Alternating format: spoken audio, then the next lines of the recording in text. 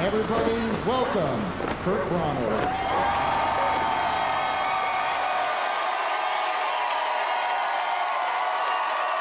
Thank you guys. Oh man. So, uh, so I'm a dad now. Uh, no, don't even, don't, don't. I mean, just the environmental impact of having those children is. It's horrible.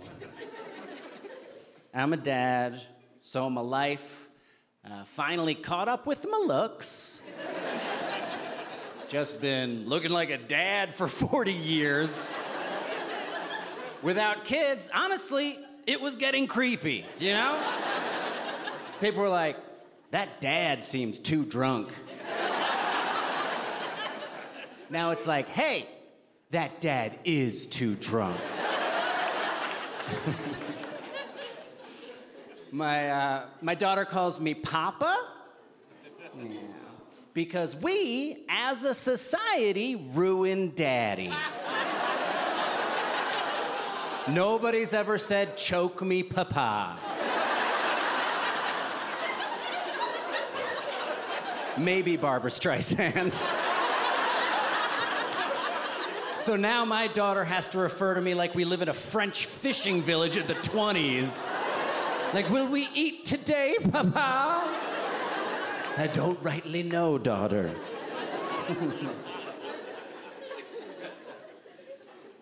but it's been a little tough um, at home uh, because I live with an anti vaxxer. Yeah, my four year old. And I thought it was just because she didn't like needles, you know? But then I saw her like drawing this picture, and I was like, what is this, honey? She's like, oh, this? This is just Bill Gates trying to inject his microchip into me, daddy. And I was like, all right, that's it. We're taking a bath. And she's like, 666 is the number of the beast. The vaccine was created by a supercomputer in Belgium. I'm like, all right, no more YouTube. And she's like, go get poked, you cuck. Like, no more Joe Rogan experience for you. It was a mistake to subscribe you.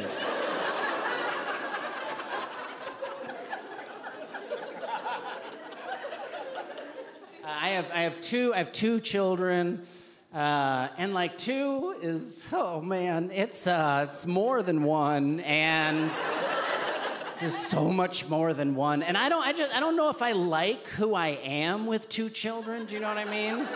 Like recently at the dinner table, I screamed at my entire family, I don't care if everyone's crying, I'm eating.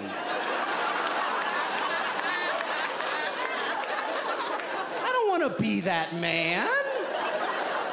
I legitimately whispered under my breath to a one year old, Oh, you're such a fucking baby.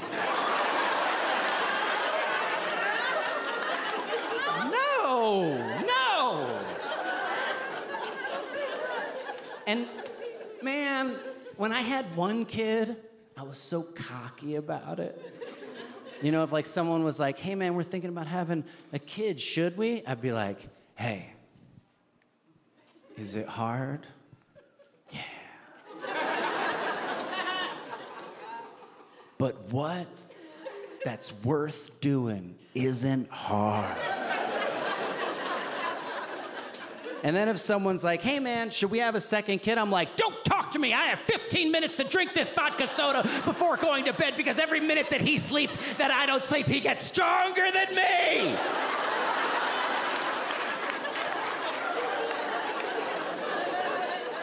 I want to be a good dad.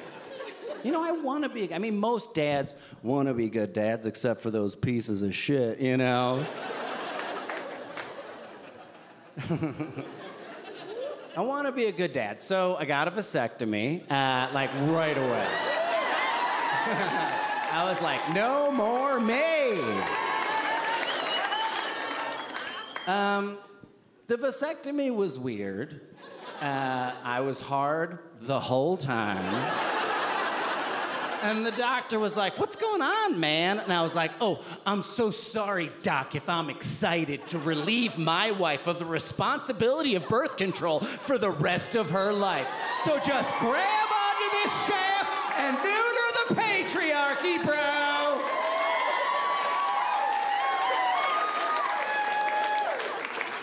And he's like, You don't know how this works, do you?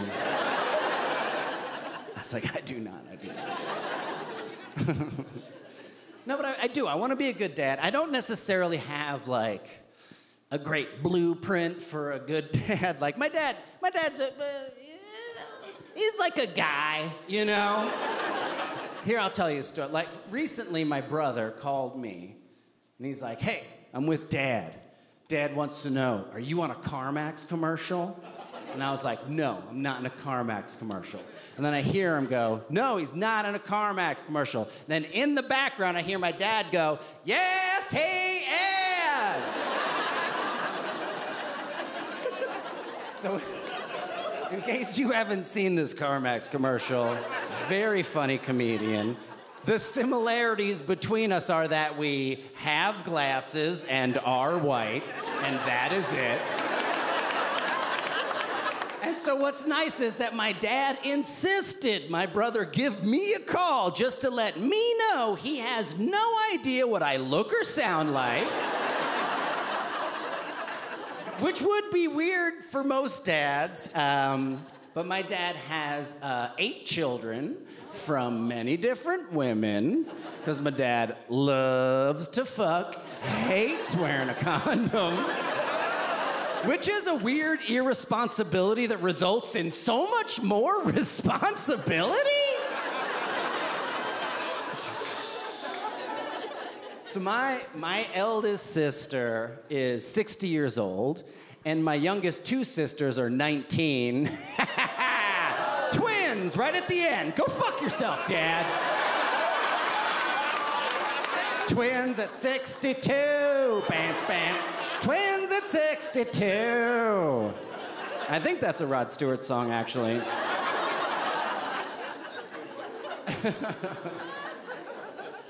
so that means that my dad has been a dad every day for 60 years and he's never gotten any better at it? like, that's amazing. If you did anything every day for 60 years, you would accidentally become a genius at doing that thing. And my dad has never become better at being a dad? That's amazing. My dad is like a guy who played mini golf every day for 60 years. And then one day someone was like, oh, look, it's a golf ball. And my dad was like, that's a bowling ball. Person's like, no, that's not a bowling ball. And my dad's like, yes, it is. That is the equivalent of not recognizing your own son on a goddamn commercial. Memorize our faces, Father. It is the literal least you could do. So, eldest sister 60, youngest two sisters are 19, which means I have multiple nieces and nephews that are way older than my youngest two sisters. So, last time we all got together, was about 17 years ago, because we don't do it too often because it's too weird for everybody.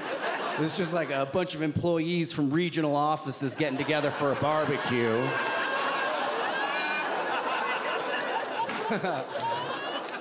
my eldest nephew, at the time he was 18, hanging out with my youngest two sisters at the time were two.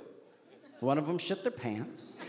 He wanted to tell my dad, so he said, Grandpa, I believe Emily has pooped her pants. Luckily, I was there to correct him, and I said, mm mm mm mm mm mm. You believe Aunt Emily has pooped her pants.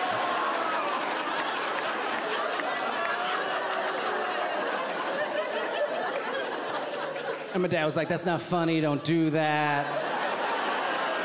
And I was like, I wish you knew how very funny that is, Papa. Perhaps it would give you a perspective on your whimsical life so far.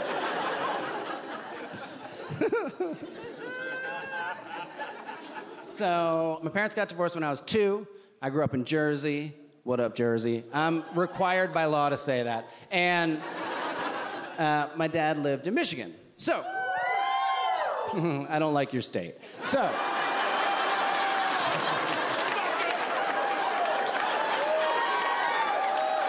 it's fine. It's a fine state.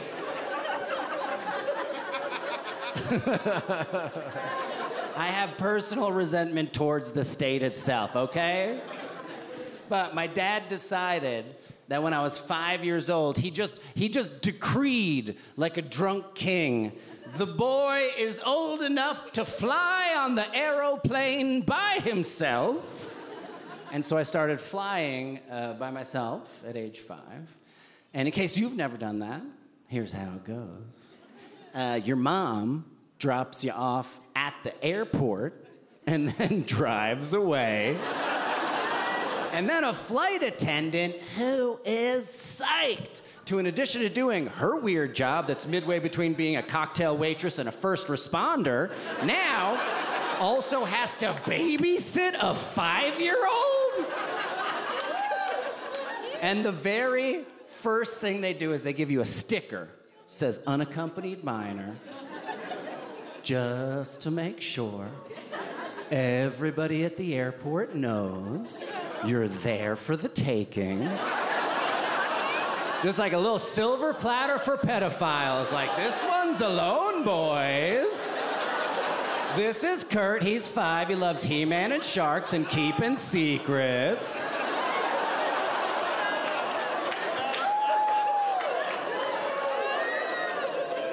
And I was like, I was like, there's no way they still do that. That was just something they did in the 80s. no, they still do it. I was recently in Montreal airport. I saw a little girl, she must have been 10 years old. She had the unaccompanied minor sticker on, but then she was also wearing a t shirt. And I am assuming that her parents do not speak English because the t shirt just said, white wine all the time. Which combined with the unaccompanied minor sticker, not a good look for the parents.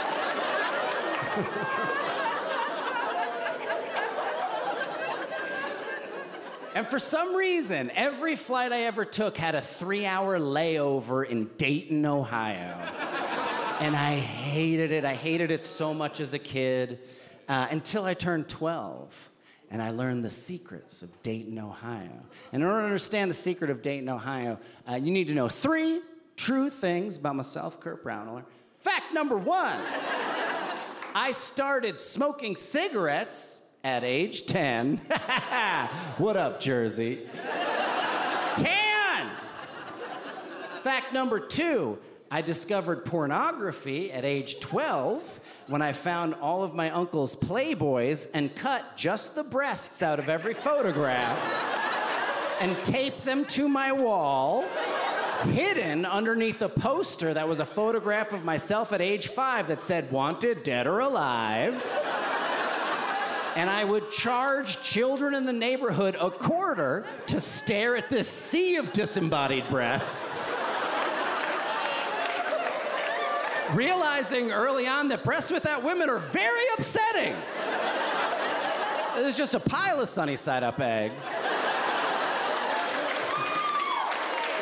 And fact number three, I hate the saxophone, okay? That has nothing to do with this story, just a little something about me. So, when I turned 12, I learned the secret of Dayton, Ohio, which was this I would get off the plane in Dayton, shake my flight attendant guard, and then I would head off into the airport because you could do this because it was the 80s. I would buy cigarettes and pornography and sit in the Dayton airport for three hours smoking Marlboro Reds and flipping through a hustler like some sort of 12 year old divorced dad, which is very ironic because that's who put me in this position in the first place. The cat's in the cradle and the silver spoon, little boy blue and the man in the moon.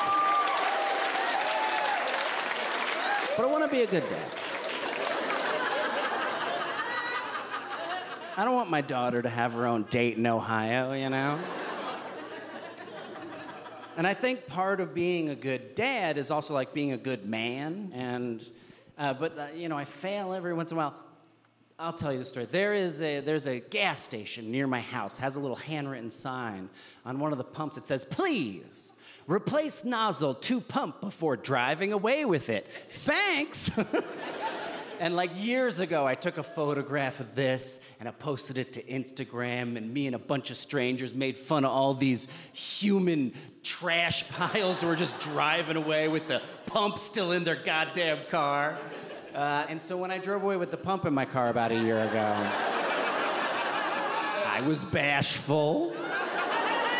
Have you ever made fun of yourself from the past with a bunch of strangers? Because I have. And the thing is, I didn't even know I did it. I had no idea. Yeah, I hopped in the car, blasted my meditation app, and just took off, ripped it right out of the pump, had no idea, and then immediately pulled an illegal four lane U turn. And all of the oncoming traffic was like. And I was like, oh, fuck you, you fucking church Nancy's. It's a U turn. So I gave him all the middle finger. Meanwhile, spewing gasoline across the street. And then I made a right and, and I got on like a big highway, started going very fast. And mind you, I just have a tail, like dragging behind me, like. And then this big white pickup truck pulls up next to me and he's honking at me, and I was like, What? It's a U turn! And he's like, Roll your window down. And I was like, What? And he's like, You drove away with the pump in your car. And I was like, Oh, you drove away with the pump in your. Oh, no!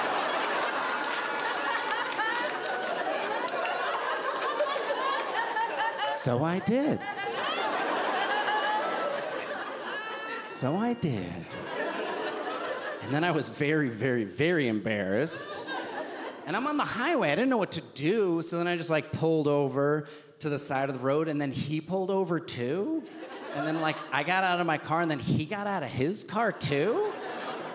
I was like deeply embarrassed. You know, it's essentially like I shit my pants and then he like followed me into the bathroom like, hey man, did you shit your pants? Hey, how much shit is in your pants? Hey, why do you think you shit your pants earlier? And I was just like, what, do you want? And he's like, do you need help? And I realized, like, I had a choice to make here, you know? I could act the way men have acted for centuries. I could act like a wounded animal and lash out at this man to protect myself. Or I could be a better man. I could admit my vulnerabilities and say, yes, I screwed up and I do need help. And so that man said, hey, can I help you? And I said to him, no! and then he got mad and got in his car and drove away. And then I was left alone with my shame. And I like walked over to the back of my car. I pulled out the gas pump and I was like, oh, there's definitely still a lot of gas in here, you know? It's like I can't put it in my car. Is it fumes and stuff? I'm picking up my daughter. What would be very useful right now is uh, a pickup truck, but I just told that guy to go fuck himself. So then I just left my car on the side of the road and then walked with it in my arms all the way back along the highway, down the exit ramp, back to the gas station, where both managers were waiting for me outside. And I just kind of laid it at their feet like a big dead snake. And I was like, well, what do we do now? Turns out it costs $350, which is honestly a lot less than I expected. I mean, you don't get to keep it, but uh, but also they're like designed to just pop right off. So the thing is, is like just do it. It doesn't matter. Just do it. Also, if you turn it into a comedy bit, it kind of pays for itself.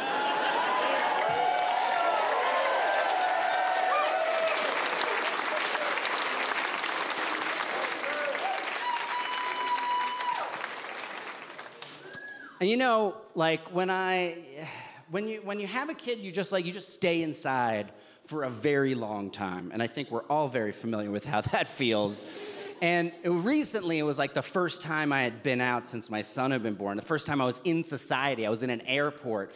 And uh, I knew it was gonna be weird, like reintegrating into society, but I didn't know in what ways it would be. And this kind of surprised me. I was in a public bathroom, huge airport bathroom, and the urinals were like where the stool was, and I was across the room around here, and it was at this point that I realized, oh no, I've taken my penis out too soon. I was like, oh no! And all the men around me were like, too soon! And I was like, I know! And they're like, put it back! And I'm like, there's no time! I did home behavior outside. At home, you see the toilet, you're like, nah, I'm ready to go to the bathroom. so I just stay home mostly. I just stay home. My daughter, after she was born, like there was just like nothing in her room. It just kind of seemed like uh, we had like a house guest for a little while. And so I was always trying to look for things that I could like make her room look like a little girl's room. And uh, guys, comedy has uh, treated me pretty well. You know, I mean, I'm not a rich man by any stretch of the imagination, but I can definitely go to a small town and afford any number of vintage dog photographs they have, you know.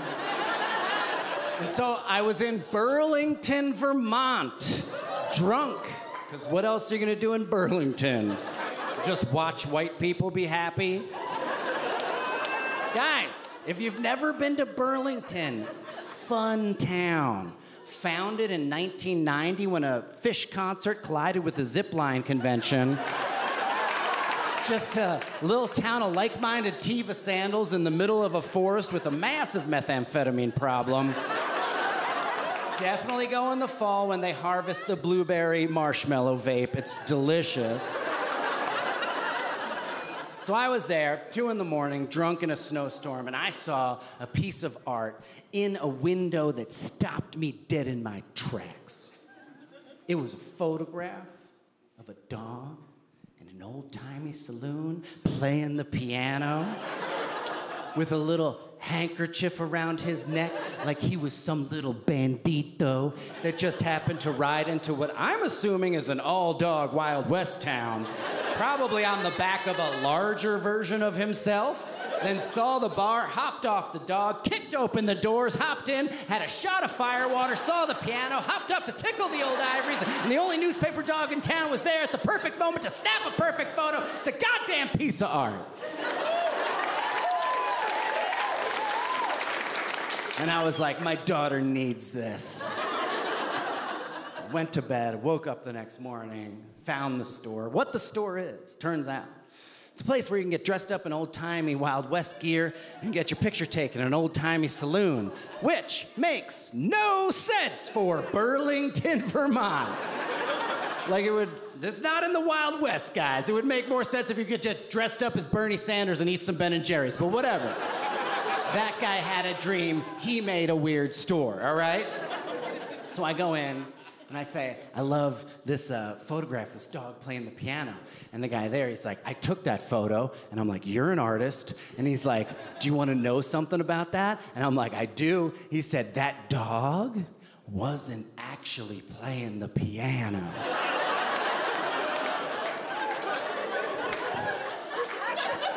It's worth so much more to me now that he thought I was just walking by and saw the photo and was like, he has photographic proof of dogs playing the piano.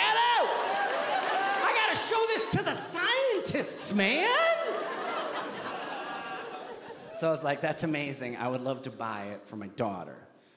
He gets very serious. He's like, oh, this photo's not for sale. This was a client. I took this photograph of a client's dog. Also, it's an heirloom frame from my wife's family. I could never part with it. And then in my head, I was like, oh no, if I don't get this for my daughter, I'm a bad dad, aren't I? And then I was like, maybe I should offer him more than I think it's worth. And, but the thing is, I don't know what things are worth. And I was like, should I offer him a hundred dollars? Like, is this worth like a, a third of a gas pump? I don't know. And so then I panicked and I was just like, I'll give you a hundred bucks. And he just went, Are you kidding me? And I realized I had far overvalued the piano playing dog photo market in Burlington, Vermont. And he immediately sold it to me, heirloom frame and all. And I realized that at that time, I had become the bad guy in every 80s movie ever. Just like walking into a small town with my douchebag LA money, like, oh, is it not for sale, old man? Well, now it is.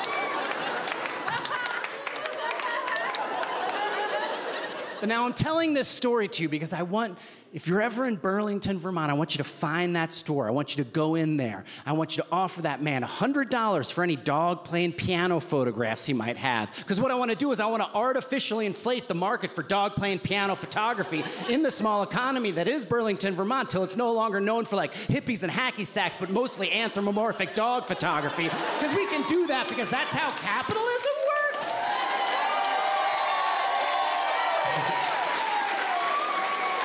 And I've been thinking, I've been thinking a lot about capitalism recently. I think we all have now that these uh, jackoffs have been going to space on their lunch break or whatever. And, uh, you know, I was like, what is the definition of capitalism? We always talk about it, so I looked it up online. The definition is if every individual acts in their own rational self interest, that will bring about the most good for the most amount of people. And I was like, the flaw is in the definition. Human beings aren't rational. Fucking Smash Mouth is still popular, guys.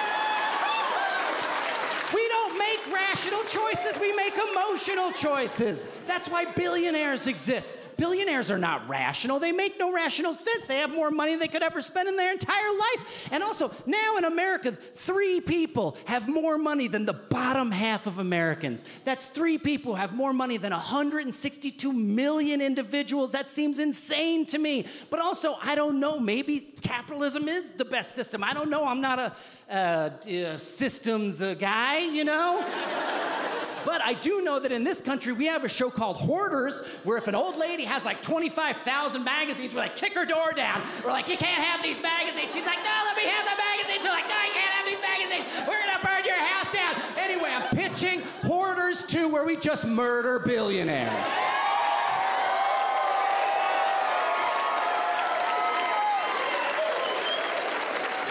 It is weird to like be raising children in America right now. Cause like America's, you know, we're not nailing it right now. you know? There was a thing I read recently that was there was a woman in Decatur, Georgia. Uh, she heard some buzzing. You're gonna love this one then. she had 120,000 bees living in her ceiling. This is true. You can Google it later. Just put in 120,000 and B, it'll autocorrect bees. And I don't know about you guys, Denver, but I feel like if I see five bees, I'm like, there's a lot of bees here. We should do something about our bee problem. But you know, fuck me. Maybe I'm some liberal coastal elite motherfucker who notices bees, you know? well, let's say 10,000 bees. Wow! 10,000 bees coming and going from your house, doing what they do, eating leaves and shit. I don't know much about bees' lives or what they eat. That definitely seems like enough bees to be like, bees. No? 20,000 bees. That's two times 10,000 bees, which already seemed like a lot to me. No? 30,000 bees? I talked to a bee person. 30,000 bees is nine pounds of bees. That's a healthy baby boy of bees. Definitely seems like enough bees to be like, we have bees here. No? 40,000 bees. That is a golden doodle of bees. woof, woof. There are bees here. No, we're not noticing them yet? 50,000 bees. 50,000 bees. That's Dodger Stadium of bees. Each bee has its own seat. Adorable, but a lot of bees. Empirically, a lot of bees. What? 60,000? What are you talking about? 60,000 bees and we haven't noticed them? That's a Nissan Juke filled with bees. They're packed in tight. They're holding each other, tip to tail, tip to tail. They could drive the thing if they could figure it out, but they can't because they're bees. Nary a peep from this woman at 60,000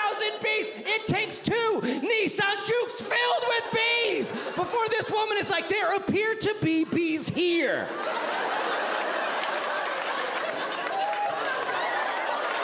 And that's America, guys.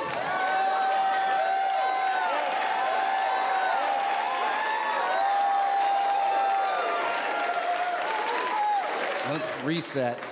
So, if I didn't have like a great blueprint for being a dad from my dad, like my mom was the opposite. My mom was an amazing mom, single parent. First of all, give it up for single parents, man.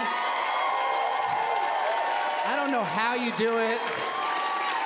Like, there's two of us, and my wife and I are in a constant murder suicide pact with each other, just taking care of the children. My mom was a pediatric nurse, and uh, and so if she didn't have anybody to like watch me on the weekend, she would just like bring me. Uh, to, you know, to work with her. You know, it was a pediatric floor. There was a lot of kids there that I would make friends with, and then they would eventually die over and over and over and over and over again. Um, that was my life. And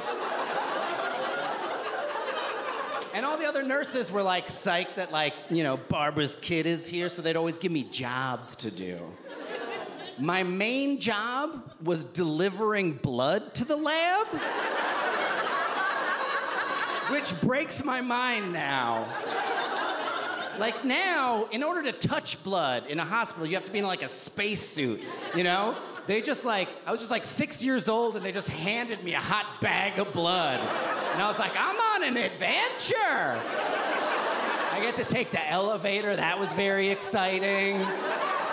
And then I would just like walk around the basement looking for the lab and get lost eventually, and then just like knock on a door and hand someone the blood, and they'd be like, What is this? Who are you? I'm like, Sorry, can't talk to strangers, and like run away. A lot of misdiagnoses at that hospital.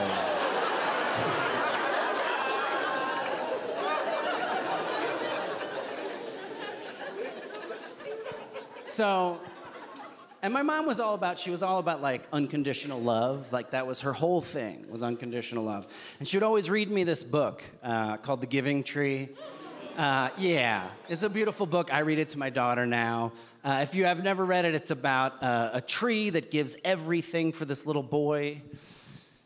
Reading it as a parent, it reads a little different. Definitely reads like a piece of shit boy who murders a tree and then sits on it with his bony balls and ass after it's dead. but it is, it's, it's a beautiful book. It is, a, I, I tear up when I read it. And I wanted to talk about this in my special, and I wanted to show it to you guys. However, HarperCollins has refused me permission to use the images of the giving tree. But that's okay, guys, because I've got the sharing bush here.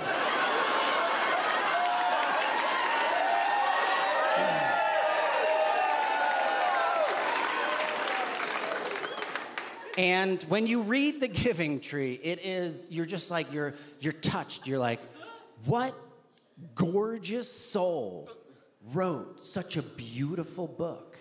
And then you flip it around. There he is. Old Shel Silverstein himself. Again, HarperCollins refused me the rights to Shel Silverstein's image. So this is noted serial killer and cannibal Otis Toole.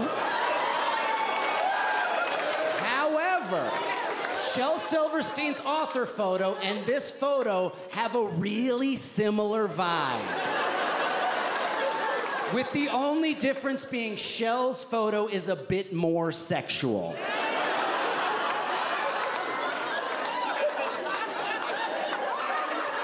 It is this size. It's the full back cover.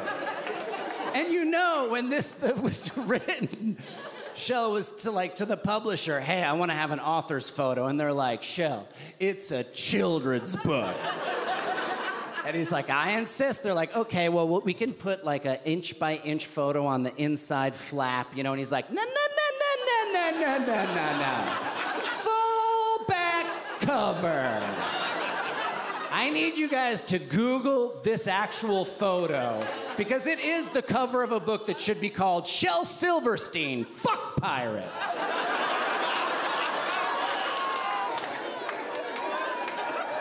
And at this point in the joke, I am pretty sure Harper Collins would have preferred to give me the rights than to have noted serial killer and cannibal Otis Toole.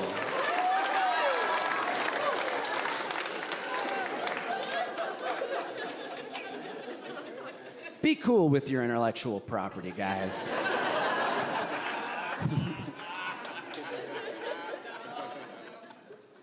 mm.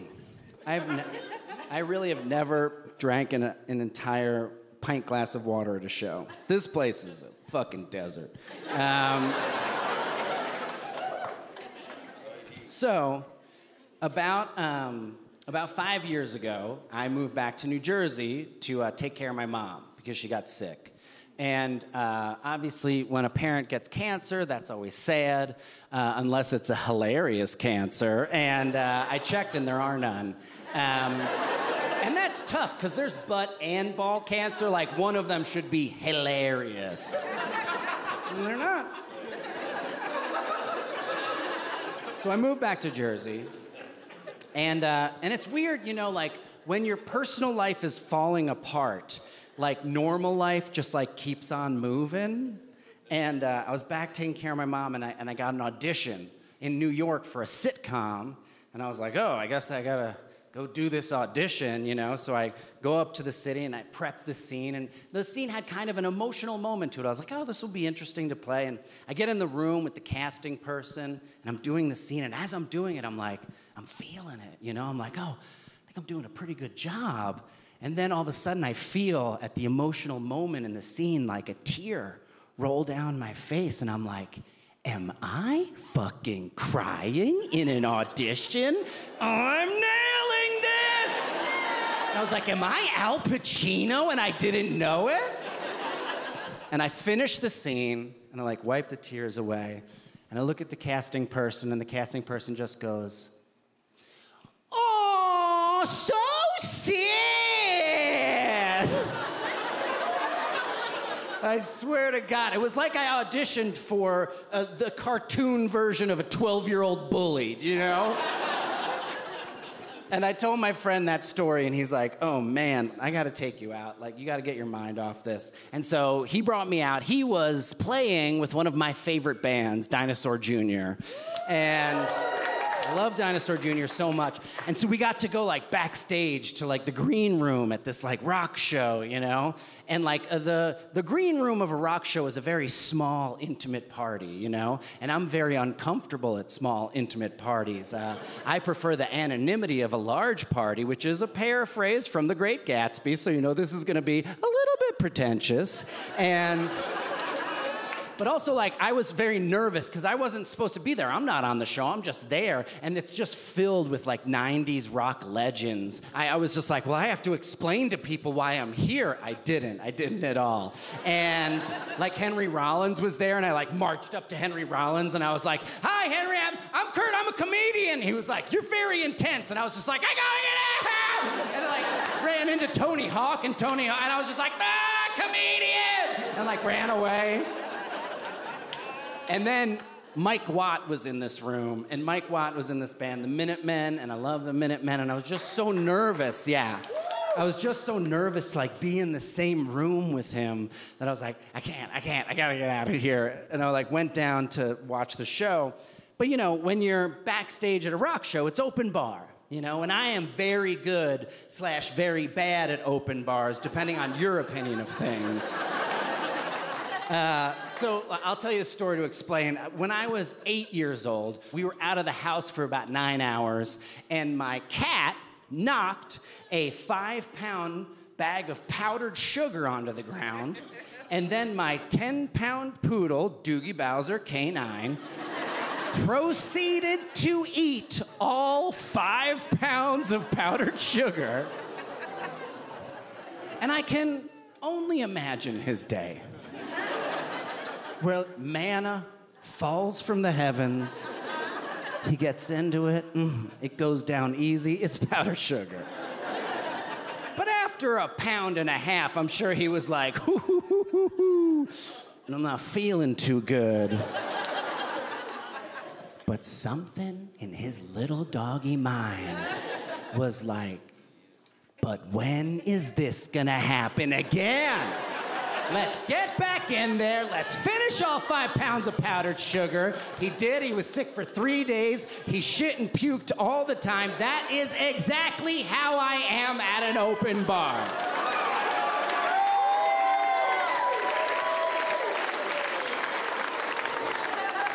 So I'm putting a few back. I'm watching the show. And for like 10 minutes, it's perfect. I'm watching Dinosaur Jr., and I'm fully present. And everything that's going on with my life falls away. I'm not thinking about the fact that my mom is sick. I'm just here. And then a phone goes up in front of my face.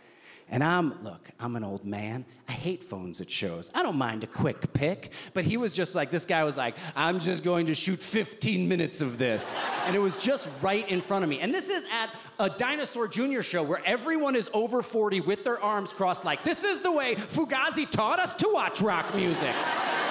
And so it's like very apparent that this guy is like just the only one with a phone. And I'm like, I should say something to this guy, you know? I'm like, and then I'm like, my mom would say something to this guy. And I'm like, oh, great, now I have to go down that hole. Then I'm about to say something to him, and he, he puts it down. And I'm like, crisis averted, thank goodness.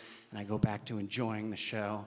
And then Mike Watt comes out on stage with Dinosaur Jr., and I'm like, I don't know if this has ever happened before. This is historical moment. And then that fucking phone goes up again.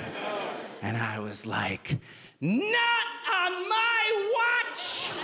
And I reached out and I shoved the hand down, and then everything went into slow motion. And I was like, oh, that hand feels tinier than it should.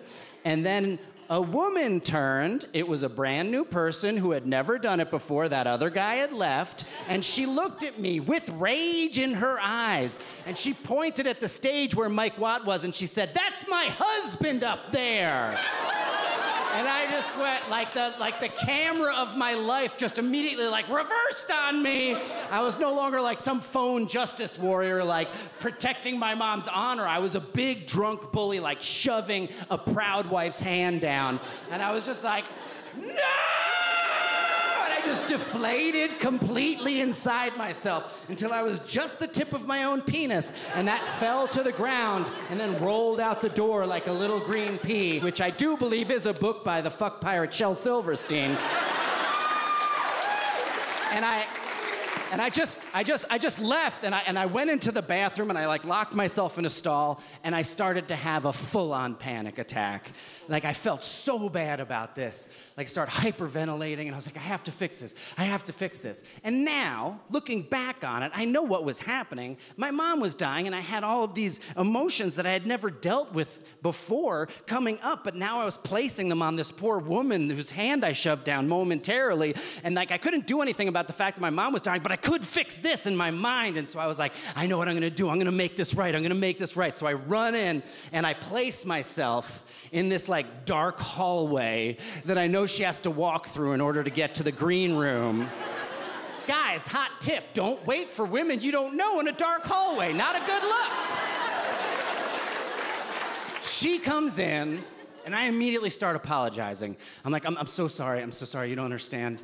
Like, there was a, a, guy before you, and she is so cool about it. She is like, hey, no, I get it. I hate phones at shows too. And because she's being cool about it, I just start ball crying. And I was like, but I'm still apologizing? Like, no, no, I'm apologizing to you. And she's like, what is going on? And then her husband comes off stage, and her husband is not Mike Watt, he's just some fucking saxophonist. And you guys know how I feel about the fucking saxophone. The saxophone is the limp dick of the woodwinds. It even looks like a, you cut a limp dick off and dipped it in brass. That's what it looks like. That's what it sounds like if you tried to blow through a limp dick that's been cut off a body, like. Saxophones don't belong in rock and roll unless it's Bruce Springsteen or Rocket from the Crypt, and fuck saxophones! And so now I'm still crying and apologizing, but also like, saxophone! And I pause for a moment and I see in their eyes that they are terrified of me. And I realize it all at once, and then out loud I just go, abort! And I turn around and I run away. I run out of the venue and I run into Chinatown in New York City. I run into a park and I sit on a bench and I just start crying. I just, I've never in my entire life cried this hard for this long. And I don't know if this has ever happened to you, but it's one of those cries where like you're, you're crying for so long that you kind of you use up all of the emotion, but then you're still locked into like the, the, the physical act of crying and your mind starts to wander, where you're just like, I wonder if it'll be nice out tomorrow. and then I got an idea for a joke and I was like, that's a good bit. I like took a note of it in my phone, and I poured myself into a cab and I went home. I woke up the next morning, and I was with my mom, and my mom was like, "Hey, how did uh, how'd it go last night?" and I didn't want to tell her like, "Oh well, I shoved a proud wife's hand down and embarrassed myself in front of all of my rock idols." Instead, I was like, what did I do? I was like, well, uh, I wrote a joke last night. And she was like, tell it to me. And then I was like, okay. And then I was like, oh, unconscious, please let this be good. I didn't really remember it. Took out my phone. And this was the joke I read to my dying mother. When you're crying, your glasses are like tiny aquariums that are terrible at their job.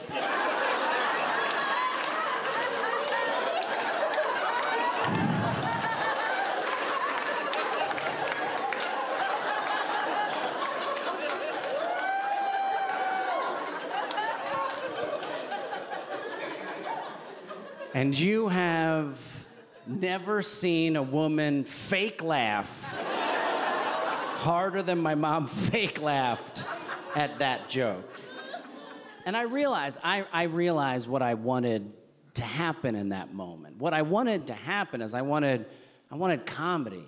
This thing that I've dedicated my entire life to. I wanted to, to, to gather up all that sadness and like uh, transform it into this like nugget of pure joy you know, and instead I got this like nugget of mild chuckles, which is so much worse, you know?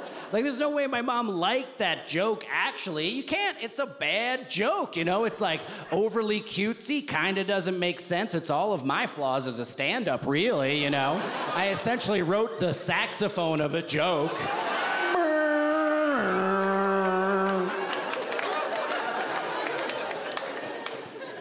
But she laughed. You know, she laughed because it's not about the joke, it's about who's telling it to you. And now that I have two kids, I get that. We found out that my wife was pregnant the day after my mom's funeral.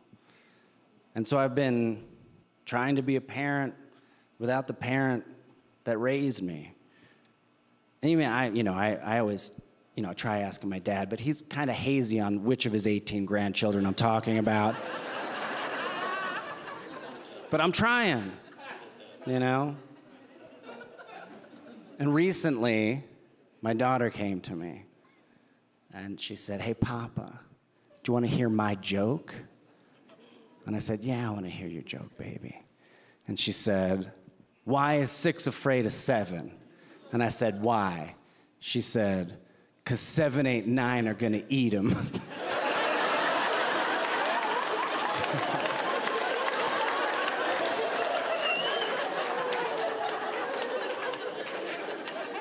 and at first I was going to correct her, you know? Like, that's not how the joke goes. Also, it's kind of weird to be stealing material so early.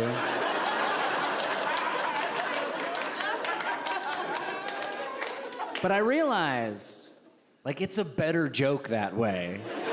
Like, that, her joke is perfectly stupid. And as a comedian, that's what I try and do all the time. I try and make things perfectly stupid. And she, my daughter just knocked it out of the park on her first try. And so I laughed. I laughed so hard because I love my daughter's dumb joke the same way my mom loved my dumb joke. Because it's not about the joke, it's about who's telling it to you. And I want my daughter to live in a world full of silliness and absurdity for as long as she possibly can. And, and that is one thing that comedy can do it can make things perfectly stupid.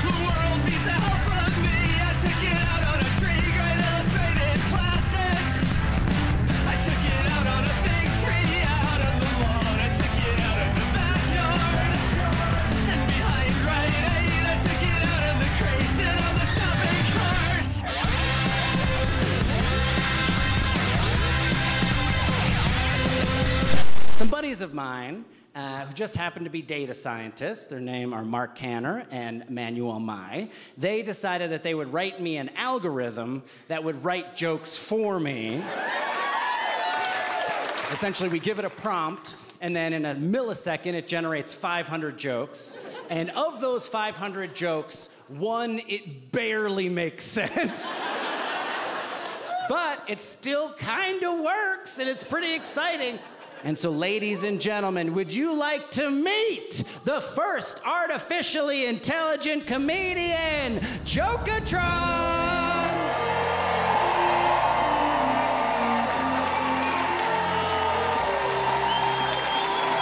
Here he comes, Mr. Jokatron. Way we trained Jokatron was that we like fed him hundreds of hours of stand-up, including my stand-up. And the way the algorithm works is you give him a prompt and it will generate the jokes. So the first one we gave it, simple, classic observational comedy, said, "Have you ever noticed?" Dot dot dot. And so, uh, Jokatron, give me a "Have you ever noticed?" Have you ever noticed Jesus Christ comes up to here? don't know. That seems like a new area for comedy. I've never, I've never heard Jesus was a shorty before jokes. Again, this was written by an algorithm, okay? And then the next one, we, we just we just gave it the word farts because we're like, always funny, right?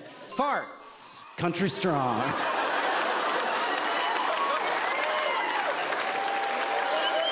That could be a tagline for an entire hour. The farts one were so good, let's give us another farts one, Jokatron. Farts don't feel its own crimes.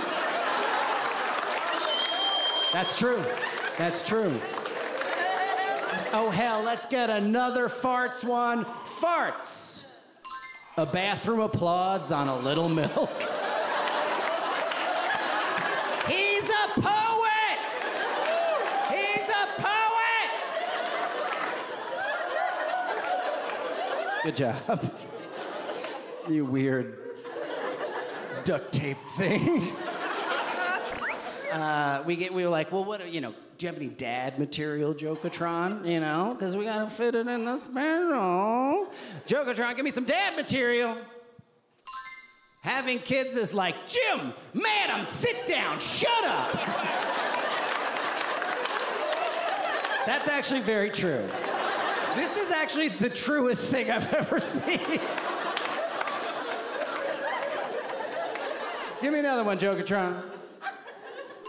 Having kids is like David Beckham watching Darth Vader. According to the Democratic Amendment, I've done Sandy Hook Massacre.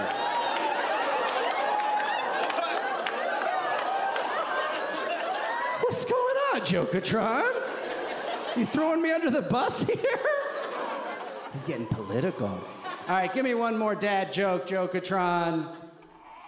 Having kids is like watching the BBC at Sean Penn's nuts. A classic. Ladies and gentlemen, give it up for Jokatron, the first AI comedian. Get out of here, Jokatron. That's the way it leaves a room, just backwards. So disturbing. It's creepy. It really creeps me out.